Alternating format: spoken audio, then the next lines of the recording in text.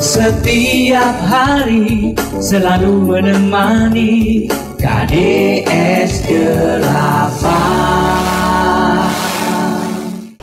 Penikmat Radio KDS 8, selamat sore. Saya kembali hadir untuk Anda bersama SMK Kesehatan Adi Husada di tanggal 10 Juni 2023, tepatnya di hari Sabtu. Dan kebersamaan kita satu jam ke depan berarti sampai jam 4 sore nanti ya penikmat Radio KDS 8. Sebelumnya saya ingin mengingatkan untuk Anda yang mungkin kemarin, minggu kemarin belum terjawab pertanyaannya, Anda bisa mengajukan seputar apa pun yang penting SMK Kesehatan Adi Husada ya. Bisa di WA-nya Radio KDS 8 di 089669058 nya 3 kali 9. Dan langsung saja untuk sore hari ini sudah ada Mbak Sasi. Selamat sore.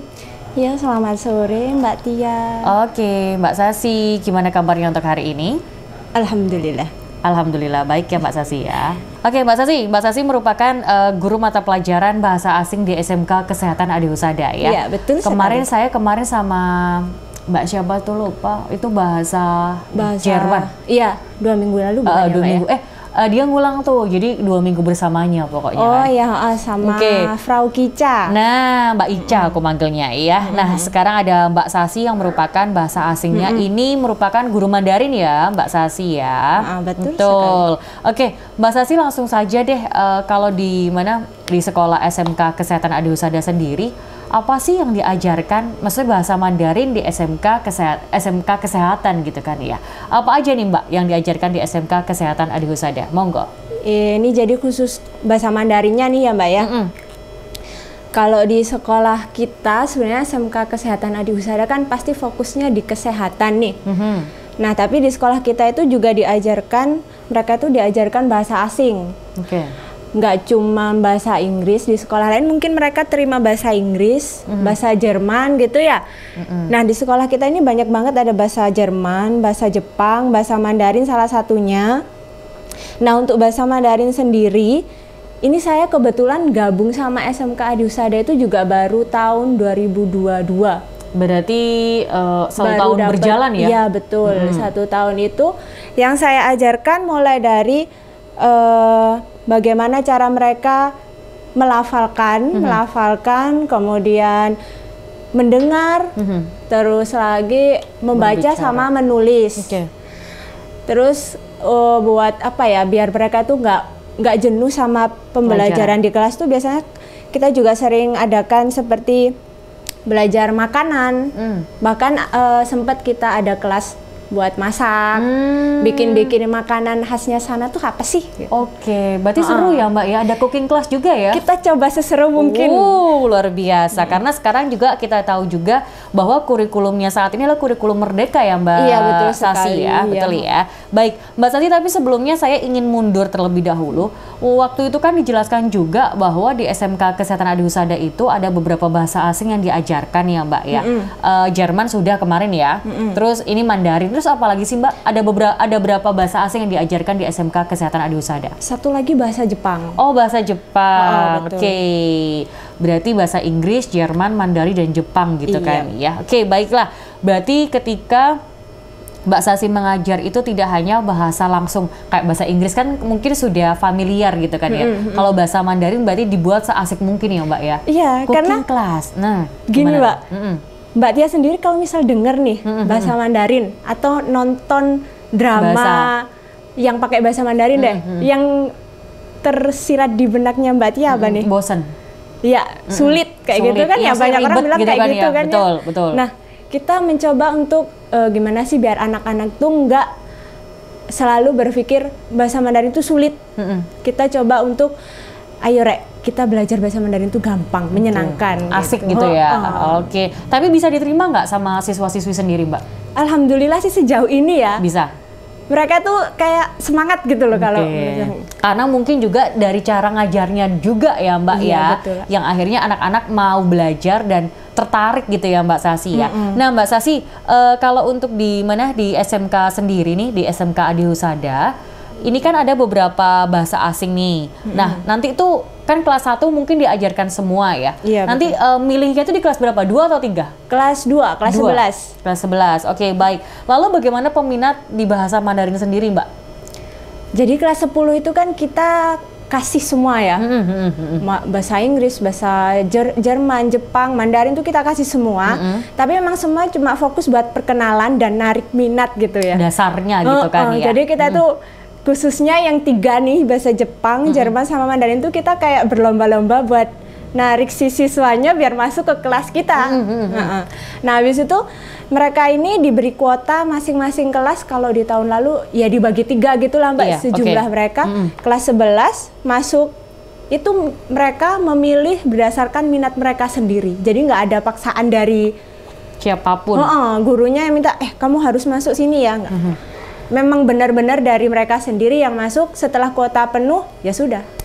Tapi banyak nggak sih mbak untuk peminatnya di saat eh, pem- apa penjurusan tuh di kelas 11? Penjurusan ke kelas bahasanya ya. Ah, ah. Kalau untuk bahasa Mandarin. Mandarin, untuk sekarang sih masih ini ya seimbang. Seimbang ya. Iya, betul. Berarti kan bukannya dikit banget, bukannya banyak Iya. banget gitu kan Jadi ya. kelas kita itu paling selisih itu cuma satu, satu orang, Oke. satu antar kelas itu. Berarti juga banyak peminatnya gitu Mm-mm, kan ya. Oke, Mbak Sasi, boleh dijelaskan nggak sih? Ini kan eh, sangat menarik ya apa yang diajarkan sama Mbak Sasi dan juga program-program apa kurikulumnya di saat ini kan adalah kurikulum merdeka gitu kan ya. Jadi Iya. bebas ya siswa mau memilih seperti apa maunya dia Iya, di bahasa apa. mereka. Nah, nggak kayak dulu kan harus manut ini Iya, ini ini gitu ya Mbak Sasi Iya. ya. Baik. Lalu Mbak kalau boleh tahu apa aja sih program yang bisa diikuti siswa apabila ingin bekerja sebagai tenaga kesehatan di luar negeri? Untuk program itu kebetulan sekolah kita sudah bekerja sama dengan Kobai Mirai Jepang ya. Jadi mereka itu udah kita fasilitasi Mm-mm. untuk bisa bergabung sama mereka gitu. Oke. Jadi termasuk belajar bahasa Jepangnya. Nah, untuk di Mandarin sendiri memang sampai sekarang masih kita masih tahap penggodokan gitu ya. Penggodokan, oke. Sebenarnya pun eh, banyak banyak eh, program-program yang bisa kita ikuti. Eh, ini intermezzo aja ya mbak ya. Iya. Jadi dulu itu alhamdulillahnya saya ada kesempatan buat Ke sana. iya belajar di Wow. sana selama satu tahun. Oke, di Jepang nih. Iya betul. Oke, oke, oke. Eh bukan di Jepang. Saya kan Mandarin. Oh, eh, maksud aku kirain aku di Jepang. Mm-mm, Maksudnya saya di- berarti Mandarin, berarti di, di Cina. Oh betul. Oke, Nah, terus terus. Di sana itu kan saya ini pendidikan, jadi belajarnya kan pendidikan bahasa Mandarin tuh. Pas waktu kita ketemu teman-teman yang sesama Indo, itu banyak orang yang kok aku nggak pernah lihat di kelas ya. Oke. Ini anak mana sih gitu kan? Asing-asing Ternyata gitu ya. mereka itu di sana belajar kesehatan. Oke. Banyak banget di sana tuh yang ambil jurusan perawat, kedokteran sama satu lagi eh, semacam ilmu kesehatan tradisionalnya. Hmm, dari Indonesia. Heeh, betul. Jadi mereka lulus SMA itu langsung ke sana buat belajar Oke, beberapa bidang kesehatan. kesehatannya. Iya betul. Oke. Sebenarnya peluang sekolah kita itu juga lumayan Besar besar. ya. Cuman memang masih tahap Penggodokan. Iya betul Oke, sekali. tapi kalau misalnya yang saya tahu juga, bener apa salah koreksi ya Mbak Sasi ya. Kalau Adi Husada sudah kerjasamanya sama Jepang ya? Iya. Karena banyak yang siswa-siswi lulus langsung ke sana Iya, gitu ya betul. Mbak ya. Oke, baik Mbak Sasi nanti kita lanjut lagi perbincangan kita mengenai bahasa asing gitu kan ya. Karena bahasa asing sekarang juga menjadi nilai plus ya. Iya, sekarang saya juga eh, tidak apa ya, tidak langkah, tidak langkah, tidak jarang ketika lawan kerja membutuhkan harus punya skill bahasa Mandarin ya mbak ya, Mm-mm. ya kan? Iya Nilai kan? plus bahasa Mandarin gitu. Nanti coba kita uh, pengen tahu I love you bahasa Mandarinnya apa, tapi nanti ya penikmat Radio KDS 8. Jangan ke mana-mana penikmat Radio KDS 8, uh, nanti juga saya akan bergabung di WA-nya Radio KDS 8 untuk pertanyaan yang sudah masuk di WA-nya Radio KDS 8 ya. Tetap bersama kami dan bersama SMK Kesehatan Adi Husada. Setia bersama Anda KDS 8 Ya, penikmat Radio KDS 8, kita kembali lagi bersama SMK Kesehatan Adi Husada, masih bersama Mbak Sasi. Mbak Sasi, tadi yang kita sudah eh, membahas mengenai bahasa Mandarin ya di SMK Kesehatan Adi Husada. Kita sekarang membahas mengenai jurusan yang ada di SMK Kesehatan Adi Husada itu ada apa aja sih, Mbak? Oke, jurusan di sekolah kita SMK Kesehatan Hadi Usada ada asisten keperawatan, Mhm. Farmasi klinis dan komunitas, sama satu lagi dental asisten. Dental asisten. Lalu kalau misalnya kan eh, sering tuh disinggung pro- apa eh, jurusan program unggulan gitu kan ya, Mbak ya. Sebenarnya program unggulan tuh jurusan apa sih, Mbak? Unggulannya nih ya, Mm-mm. dental asisten. Dental asisten. Kenapa Iya. tuh mbak? Karena satu-satunya sekolah SMK yang membuka jurusan dental asisten tuh hanya di kita, SMK Oke. Kesehatan Adi Husada. Berarti hanya di Adi Husada. Iya, betul. Baik. Oke, eh, Mbak Sasi kalau boleh tahu juga untuk pendaftaran sekarang ini eh, di jalur apa ya? Untuk saat ini tinggal jalur umum sama jalur unggulan. Oke. Dan batasnya sampai tanggal? 31 Juli 2023. Nah, ini nih ada pertanyaan. Persyaratan administrasinya tuh apa aja sih, Mbak? Persyaratan administrasi sebenarnya nggak jauh beda sama sekolah yang lain ya Mbak ya. Paling-paling juga eh, pas foto, fotokopi akte kelahiran, rapor dan lain-lain. Nah untuk tahu lebih lengkapnya bisa datang langsung ke sekolah kita. Oke, di mana tuh kalau boleh tahu lokasinya? Eh, sekolah kita ada dua kampus ya Mbak. Yang kampus pertama dari Jalan Terusan Danau Sentani nomor 97 Sawo Jajar. Satunya lagi di Jalan Melati 3 nomor 99 Penjaran Sekarpuro. Nah, lalu Mbak nih ada yang bertanya dari Mbak Ita, katanya kalau misalnya masuk SMK kesehatan sendiri tuh harus pandai dan jago matematika nggak sih? Ini mau ambil apa nih? Misalnya mungkin di farmasi gitu kan ya. Sebenarnya kalau masalah jago nggak jago itu kan eh, ketika kita masuk lagi nih ya masuk dari SMP masuk ke SMK, apalagi misal sekolah di SMK kita ya Mbak ya, di sekolah kita tuh pasti akan diasah lagi kemampuan mereka. Oke, jadi jadi nggak usah khawatir. Iya betul. Nggak usah khawatir karena bakal diasah kembali gitu Iya, kan ya. betul. Tapi pada intinya dasar matematika harus tahu, gitu. Harus ada. mengerti gitu ya Mbak Iya, Sasi. Ya. Baik, terima kasih Mbak Sasi. Mbak Sasi, kalau boleh tahu juga nih eh, prakerin gitu kan ya, prakerin di SMK Kesehatan Adi Husada sendiri nih Mbak. Biasanya kan kalau SMK itu kan siswa-siswinya nyari sendiri sampai kebingungan. Kadang juga tidak sesuai dengan jurusannya gitu kan ya Iya, Mbak ya. ha-ha. Bagaimana dengan SMK Kesehatan Adi Husada nih untuk prakerinnya dicarikan atau memang harus cari sendiri untuk siswa-siswinya? Nah bagus sekali itu salah satu kebe- kelebihan sekolah kita nih Mbak. Hmm, Jadi ini. sekolah kita itu menyediakan eh, tempat prakerin tanpa meminta siswanya buat cari nih. Mhm. Jadi sudah di sudah dikasih pilihan. Nah, sekolah nanti yang menentukan. Oke. Bisa ditinjau dari jarak antar rumah mereka, bisa dilihat juga dari kebutuhan tempat prakerinya kan menyesuaikan juga sama si siswanya nih. Kira-kira nih anak cocok nggak ditaruh di situ? Berarti sudah disediakan, sudah betul. difasilitasi Iya. gitu kan ya sama sekolah. Ini nih yang menjadi nilai plus juga karena banyak sekali orang tua juga ikut pusing ketika anaknya mau prakerin ya. Iya. Kasihan loh Mbak, kadang kan jurusan ini malah dapatnya ini. Betul, Jadi nggak dapat ilmunya gitu kan ya. Baik, terima kasih Mbak Sasi sudah terjawab juga Mbak. Kita kembali lagi ke bahasa Mandarin gitu kan ya. Tadi kan sudah senang-senangnya nih kan ya dalam arti eh, apa em, apa mengajarnya pakai metode apa yang bikin siswa itu merasa tertarik gitu salah satunya dengan memasak. Lalu apa sih dukanya ketika belajar bahasa Mandarin? Mengajarkan, mengajarkan maksud saya. Ini dari sisi mengajarnya ya. Mm-mm. Mengajar, oke. Kalau bahasa Mandarin kan sekarang lagi marak-maraknya apa ya? Apa tuh? Eh, Ini. nonton Iya, drama. drakor. Heeh. Mm-mm. Kalau dari sisi mengajarkan, susahnya itu bahasa Mandarin tuh dia punya yang namanya nada. Sengtiao. Oke. Kita menyebutnya sengtiao. Sengtiao itu Sengtiao. nada baca.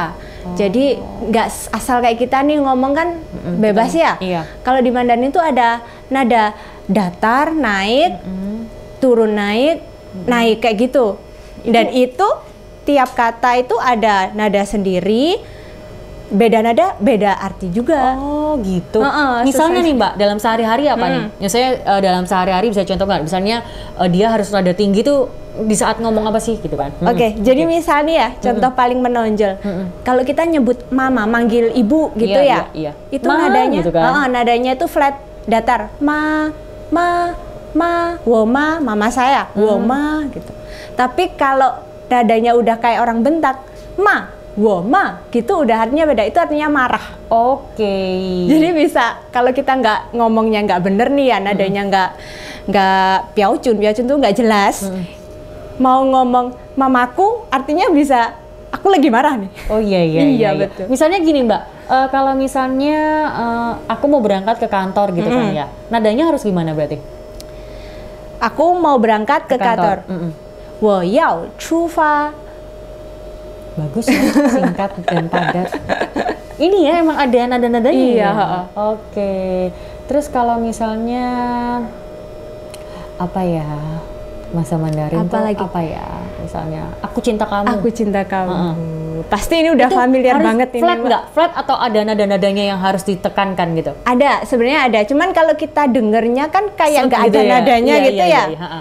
Kalau dipelajari ada wo, ai, ni. Oh gitu. Sebenarnya kayak gitu, cuman kalau versi cepatnya wo, ai, ni. Ah, Nah kalau misalnya wah ininya pakai marah-marah tuh berarti aku sayang kamu tapi marah gitu kan ya? Apakah nada tinggi itu selalu bergam- menggambarkan kalau dia sedang marah?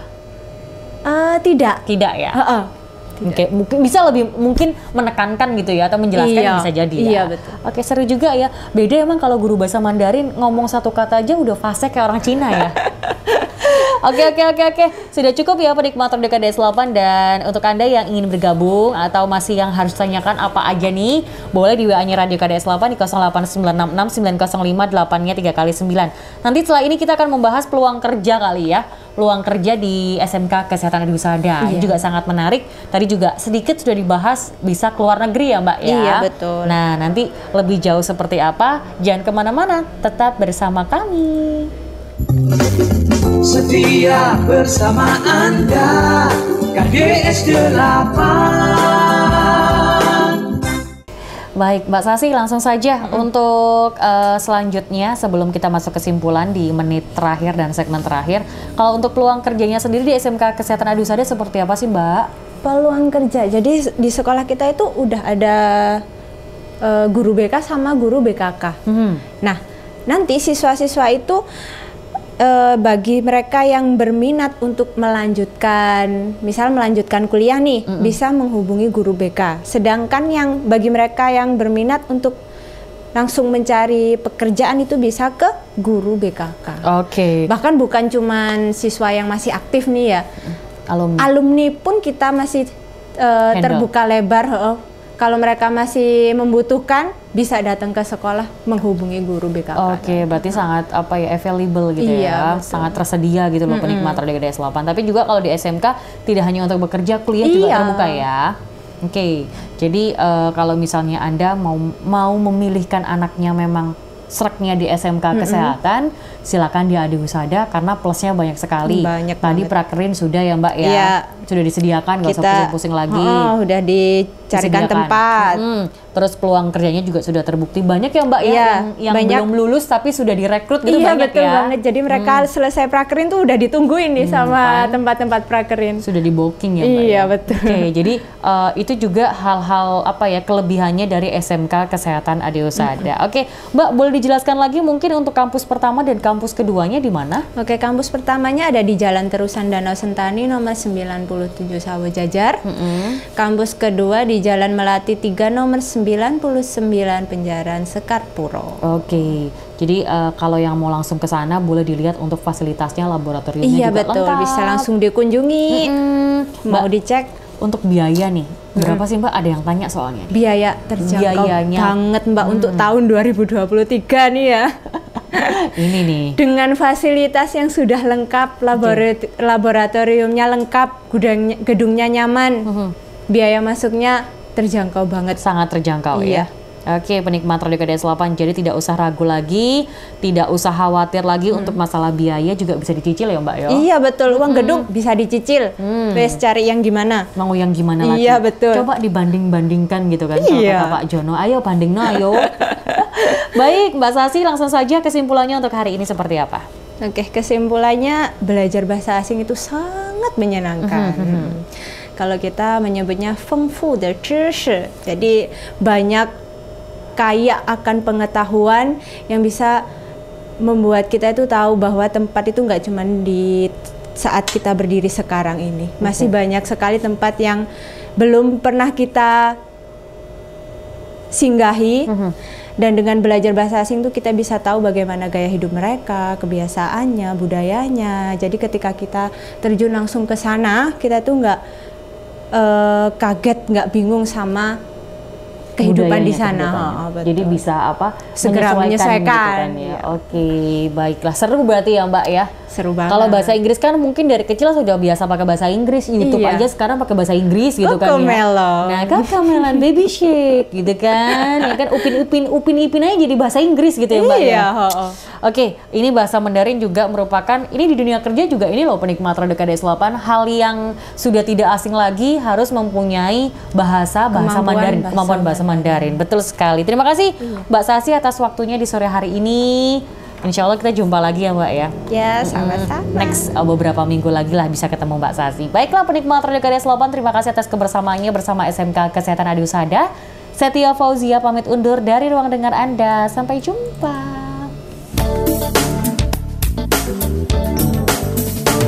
Setiap hari selalu menemani KDS 8